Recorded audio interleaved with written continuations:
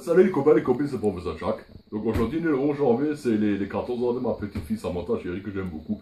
Alors, on, on se l'a pour son anniversaire, aujourd'hui, on a fait un bon repas chinois, avec nouilles chinoises, riz cantonné, des poulets ananas, tout ce qu'elle adore, c'est elle qui l'a demandé. Et le truc qu'on va dire maintenant, comment on dit repas chinois en alsacien? C'est facile, n'est cette phrase. Et à force de trop manger chinois, qu'est-ce qui se passe après? Bah, On va commencer à rigoler comme des chinois. Et je là, je vais imiter les chinois. Mais attention. Hein. Alors, attention chinois. Voilà, c'est comme on a appris. Hop Pour ça. Hop, ça allait